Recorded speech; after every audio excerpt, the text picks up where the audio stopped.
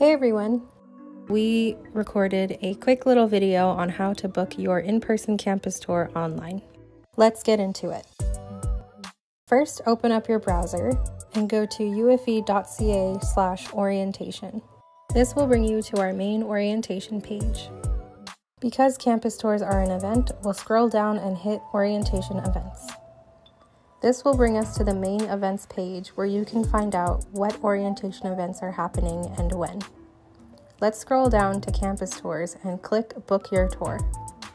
This will bring you to a main information page where you can find out certain safety protocols, how to book, and how to prepare for your campus tour.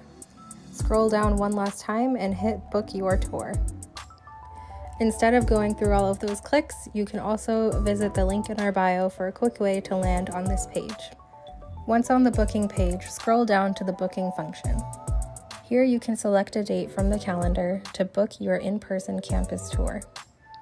You can use the keyword feature to filter your tour options by campus location or your program. For example, if you are in the arts program, you can book a tour with other arts students. You can find out more information about each tour by clicking Read More.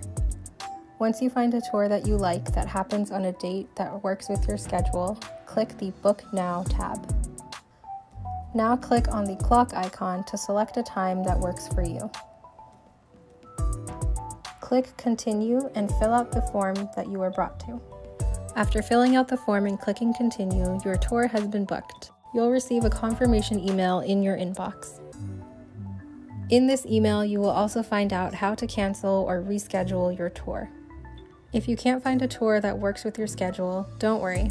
We'll be posting virtual tours on our website and social media sometime in August. We hope that you have a great lead up to your semester. As always, please reach out to us if you have any questions.